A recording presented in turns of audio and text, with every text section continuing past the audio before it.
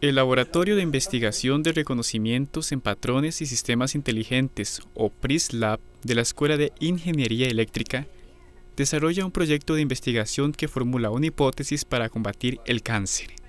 La propuesta consiste en observar y dar seguimiento a la conducta de las células cancerígenas mediante un sistema que une a la biología con la computación. Lo que queremos hacer es producir una plataforma biocomputacional que nos permita analizar los datos genómicos y producir blancos terapéuticos que nos sirvan para eh, atacar el cáncer. El proyecto tiene previsto arrancar para el 2014. Para ello requiere de profesionales en biología, computación, medicina e ingeniería eléctrica así como un equipo de cómputo para trabajar con una base de datos que procese los análisis con diferentes muestras de cáncer ya existentes.